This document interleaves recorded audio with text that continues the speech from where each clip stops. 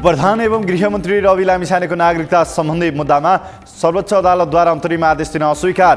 नागरिकता विवादको अन्तिम सुनवाई माघ एघार गते हुने। सरकारको अठार बुधे साझा न्यूनतम कार्यक्रमको मस्यौदा तयार। भ्रष्टाचार र अख्तियारको दुरुपयोगसँग जोडिएका विषयको छानबिन र अनुसन्धान गरी कुनै पनि कालखण्डमा भएका भ्रष्टाचार र जो कोही भ्रष्टाचारीमाथि कानुनी कारवाही अघि बढाउने उल्लेख। न्यूनतम साझा कार्यक्रममा सहमति जुटेसँगै राप्रपा र जसपा सरकारमा जाने सहमतिमै न्यूनतम साझा कार्यक्रम तयार हुनु सकारात्मक भएको जसपा अध्यक्ष उपेन्द्र यादवको भनाई। राष्ट्रिय प्रजातन्त्र पार्टीले आफ्नो पार्टीले प्रधानमन्त्रीका लागि प्रस्ताव नगरेको काङ्ग्रेस नेता रमेश लेखकको स्पष्टोक्ति एमाले माओवादी केन्द्र सहितको सत्ता समीकरणलाई भत्काएर नयाँ समीकरण बनाउने काममा नलागेको पनि जिकेर। दुई शक्तिशाली उच्चस्तरीय आयोग गठन गर्ने सत्ता साझेदार दलको प्रस्ताव सुशासन र प्रभावकारी सेवा प्रवाहलाई प्राथमिकता। प्रतिनिधि सभाको पहिलो बैठकमा दलीय आधारमा बोल्न समय दिइने पहिलो बैठकलाई करिब दुई घन्टा समय निर्धारण गरेर दलको आकार अनुसार बोल्ने समय निर्धारण गरिने। नेपाली काङ्ग्रेसको सभापति शेरबहादुर देउबा र नेकपा एकीकृत समाजवादीका अध्यक्ष माधव कुमार नेपालबीच भेटवार्ता। भेटमा पछिल्लो राजनैतिक घटनाक्रमका विषयमा कुराकानी।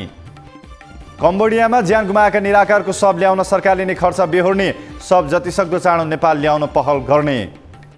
शीतलहरबाट हुन सक्ने सम्भावित जोखिम व्यवस्थापनको तयारीमा जुटियो मधेस सरकार। प्रदेशका आठैवटा जिल्लाको विपद व्यवस्थापन समितिलाई आठ लाखको दरले बजेट उपलब्ध गराउने निर्णय। त्रिभुवन विश्वविद्यालयले स्वतन्त्र विद्यार्थी युनियनको निर्वाचन आगामी चैत्र पाँच गते गर्ने।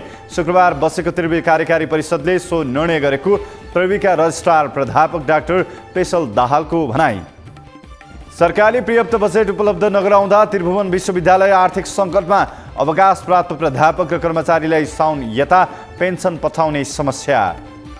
निर्मला पन्त हत्या प्रकरणमा अनुसन्धान तीव्र अनुसन्धानको नेतृत्व केन्द्रीय अनुसन्धान ब्युरोकी डिआइजी दुर्गा सिंहले गर्दै। नेपाल टी ट्वेन्टी क्रिकेटको शुक्रबार भएको खेलमा जनकपुर रोयल्सद्वारा लुम्बिनी अल स्टार तेइस रनले पराजित सातौँ जित निकाल्दै जनकपुर क्वालिफायरमा। नेपाल टी ट्वेन्टी लेगमा विराटनगरसँग तिन रनले पराजित हुँदै फार वेस्ट बाहिरियो।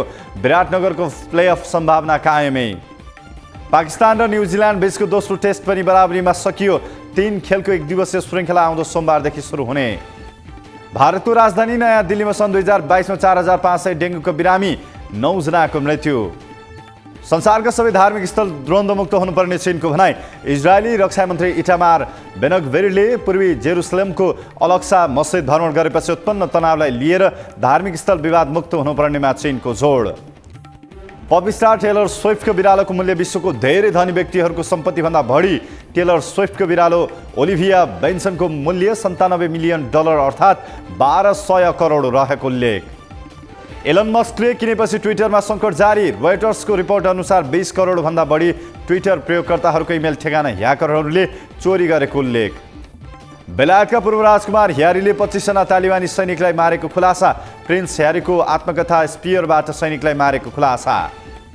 अमेरिकी पूर्वी विदेश मन्त्री हिलारी किल्टनले कोलम्बियाको विश्वविद्यालयमा पढाउने। किल्टनले आउँदो फेब्रुअरी एकदेखि आफ्नो नयाँ जिम्मेवारी वहन गर्ने। चिनमा कोरोनाको बढ्दो मामिलाको बेच चर्चित व्यक्तिको मृत्यु भएपछि आधिकारिक तथ्याङ्कलाई लिएर मानिसहरूमा शङ्का बढ्दै चिनद्वारा कोरोनाको दैनिक तथ्याङ्क सार्वजनिक गर्न बन्द। अमेरिकामा तिन दिन लगातार एघार पटकसम्म मतदान हुँदा पनि प्रतिनिधि सभाको सभामुख चयन हुन सकेनन्। सभामुख चयन गर्न यति लामो समय लाग्नु लज्जास्पद भएको राष्ट्रपति जो वाइडेनको टिप्पणी र विश्वका हिम नदीहरू वैज्ञानिकहरूले सोचेभन्दा चाँडो लोपनी अवस्थामा पुगेको उल्लेख। जलवायु परिवर्तनका कारण दुई तिहाई हिमनदी यो शताब्दीको अन्त्यसम्ममा अस्तित्वबाट विलिन हुने अध्ययनद्वारा पुष्टि।